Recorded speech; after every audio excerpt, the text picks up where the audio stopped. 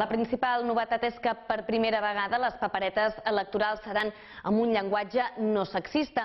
Aquests són els models que ha presentat avui la portaveu del govern i en lloc del genèric eh, consellers i diputats s'hi ha inclòs el femení en primer lloc, conselleres i diputades. També hi ha canvis pel que fa al color de les paperetes respecte a les eleccions passades. Aquests són els sobres que es faran servir a les eleccions autonòmiques i de Consells Insulars del pròxim 26 de maig. Per primera vegada s'utilitzarà el llenguatge inclusiu i no sexista.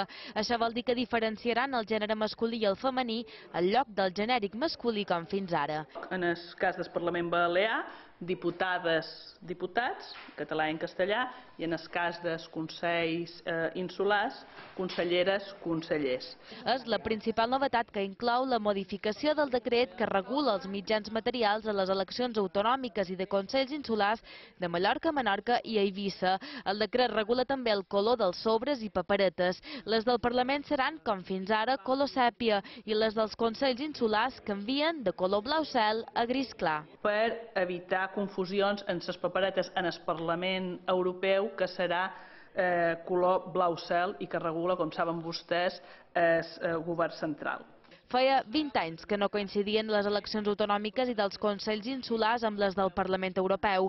Tant per a les eleccions generals del 28 d'abril com per a les autonòmiques i locals del 26 de maig hi haurà 1.215 meses electorals.